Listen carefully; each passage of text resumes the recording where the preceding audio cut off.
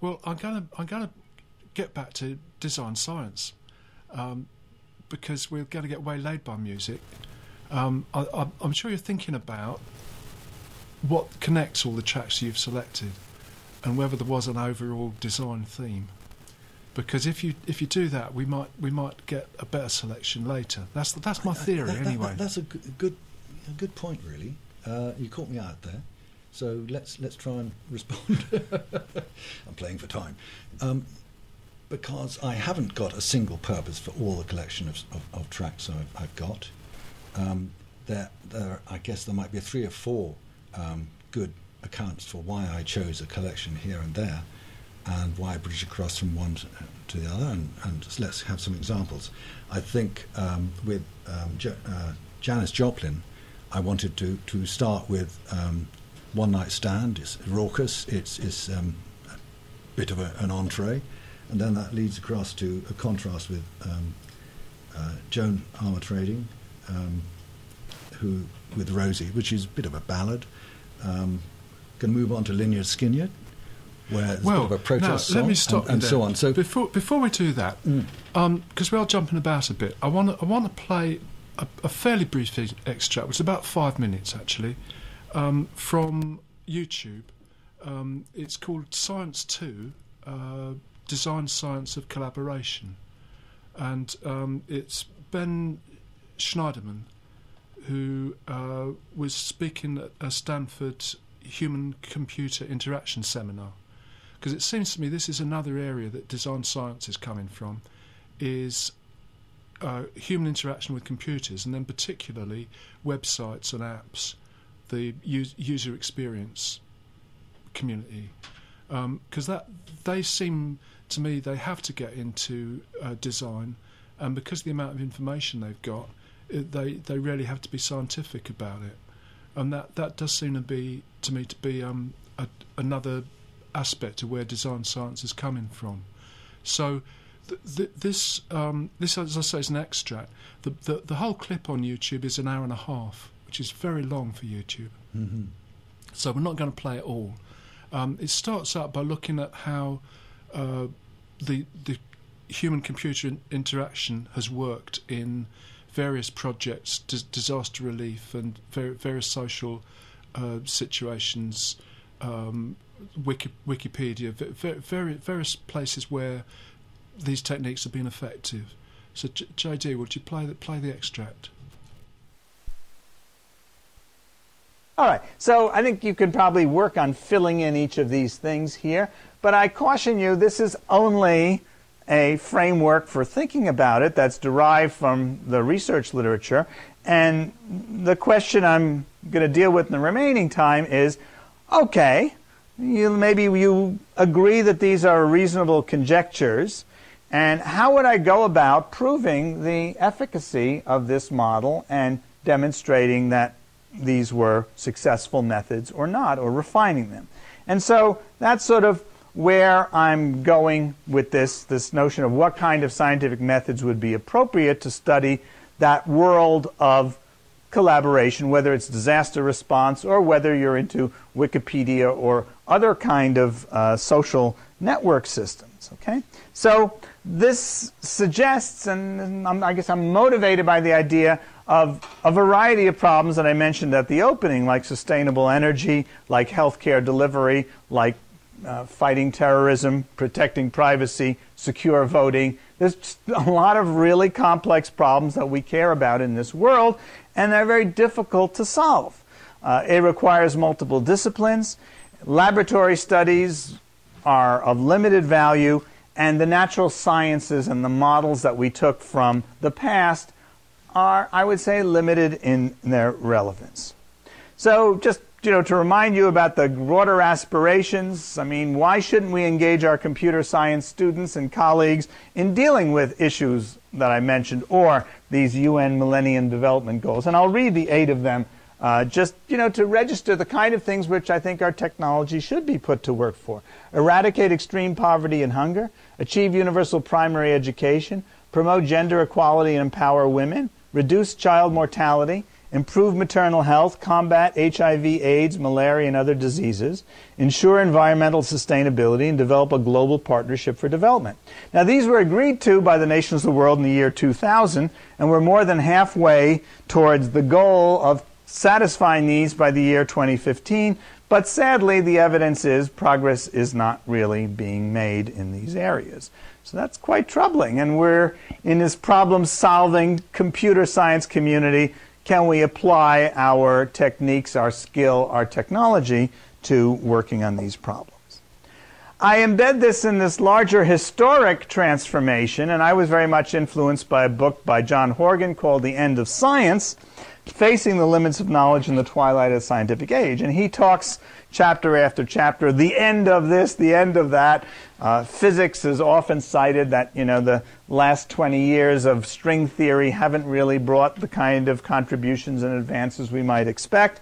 And, you know, we see the struggle of computer science in its current incarnation. It's sort of done its job. Moore's Law is a great success, but it's no longer exciting or as exciting as it used to be uh, in terms of the next gigabyte and peta, petaflop of, of progress.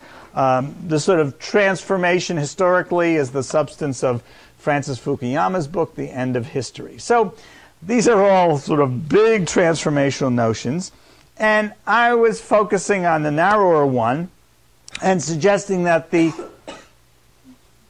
last wonderful 400 years for natural sciences has done us much service, and much of the technology and society we have comes from great contributions in Science 1.0. But the reductionist approach and the controlled experiments in laboratory environments and the study of the natural world, while there's still much to be done, uh, it seems like we, we need to make a safe space for a new kind of science. And I called that Science 2.0, which dealt with these integrated problems that were not, did not easily them, lend themselves to a reductionist approach, and where the method of research was more of interventions or what would be called quasi experiments. This is what Amazon and Netflix and others had developed as a technique. Make a change to the interface, watch what happens for the next 10,000 users, and then make another change. And many of these small interventions began to give them, shall we say, a theory, a model, an understanding of what worked and what didn't work. Now, sometimes it was little things like the size of the pictures of the books, or how much text there was, or where they put the price, or how much of a discount they gave. But they began, they did hundreds of these. And Amazon did not do a lot of usability testing, but they did a lot of sometimes called A-B testing, and that provided enormous advantage in trying to understand what they were doing. These are situated, they're in the real world, and so that takes a certain courage to intervene. And I suggest this is beyond what typical sociologists and social scientists are usually doing. They tend to want to understand, but are reluctant to intervene. It's kind of the Star Trek's prime directive, which is, you know, don't intervene in the in the cultures you study. Um, but I think we have to make responsible interventions to be able to understand what might happen in these made world scenarios. So the difference between the natural world and the made world is, I think, an important part. Now, I do want to preserve the good ideas of hypothesis testing. I still think of Science 2.0, and the essence of science for me is testing hypotheses and making predictive theories so that we can have a generalizable theory that we might apply in novel circumstances. And the idea that replications should be doable. Now, in the complicated world of social networks, replications are never perfect. But they're never perfect in any of the science studies. There's always somewhat uh, different situations. But if you do a small variation dozens of times and you get similar results, you do begin to build the evidence that says, I know what's going to happen if I make the following interventions. Okay? Now, um, so that was uh, Ben Shneiderman, and uh, what did you make of that? well, uh, very interesting. It started off with him um, citing some of the points from United Nations uh, deliberations, uh, which is a direct sort of um, follow on from what Buckminster Fuller um, proclaimed. In fact, just as an aside, Buckminster Fuller was declared Humanist of the Year in, the, in I think it's about 1970.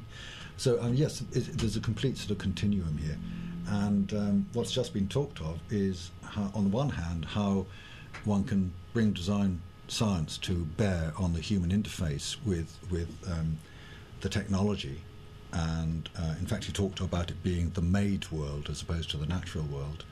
Um, and on, on the, the, other hand, he was talking about um, in the made world uh, with social networks and these sorts of um, applications. And what came to mind for me was Facebook. He talked about Amazon, um, how one can actually in real time observe what is taking place and make incremental changes and see how that works or doesn't.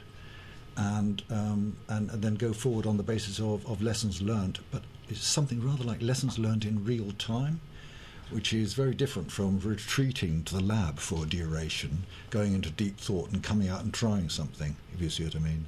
There's that difference. Yeah, and I, I guess engineering has been somewhere in between because there's there's a belief in in t- testing design before committing to production. Yeah, yeah, yeah, um, indeed, uh, because you have you have a big launch, don't you? Um, if you think of the automobile industry, um, the car industry, um, they used to spend, say, five years developing a car, testing it, and then there'd be a big fanfare and it'd be launched. Um, what's happened over the last 15 years, I think, is that cars have gone into garages for their servicing, and what's actually happened is they've had um, uh, they call them computer diagnostics on the engine performance and everything else. In fact, what's happened a lot is that the manufacturers of the car they supply the computers to do the diagnostics, and they find out how that car, amongst all the other models of that car, are behaving, and they pick up the precise lessons about wear and tear. Um, from the not just the engines but the brakes, everything else, and take that back to base, and they then redesign the car the result is that today, from that incremental lesson learning, today um, the difference in performance between cars is frankly neg- negligible in terms of they will last the same length of time, they will perform the same way because of um, uh, speed limits on roads and everything else. They'll perform in the same way, and you end, and they look fairly similar as well. Uh, because of crash testing, the need for a good front end and back end to withstand all of those things. There's a uniformity coming into play now, and so the difference remaining for cars is their looks and perhaps their price. Um, that, yeah, so, so I think design science has come into play in manufacturing, and whilst the, the what you just played there about commentary on design science, um, uh, contrast that with what I was saying about Buckminster Fuller, and although they were just talking now about the, the computer interface with humans, um, it's applied elsewhere in manufacturing as well, just as you say. So are they not doing so much testing before they launch? Is that your guess? Um, they they have to do testing before launch to to gain um, license from um, government authorities to be able to put vehicles on the road. Um, but uh, uh, uh, but they how can one describe it? The the lessons learned in the previous model goes also into a fund of knowledge for cars at large from that that designer, right. and that yes. then is applied to the next model. Right. Okay. And reliability but, and quality is is, is But if so you're thinking about um, a website or a, a, social networking approach or a radio program, w- when you talk about real time feedback, you're, you're, you're probably talking about a situation where, where people design as they go. Uh, absolutely right. I mean, uh, as your listeners will know, I was fumbling around with these concepts when I first got going in this show in today, um, and I was, I was, picking up what the thread was and, and what to talk about. Um, I, I, think w- when it comes to radio shows, um, w- how does one pick up lessons? How do you get the feedback? If, if you're going to learn lessons with design science, you need to have a feedback loop. How do you get how do you get feedback in, for example, in the Wild Show, um, so that you can learn lessons apart from the ratings? the, the ratings. Yeah. We know when people talk to us. Yeah. You can phone in.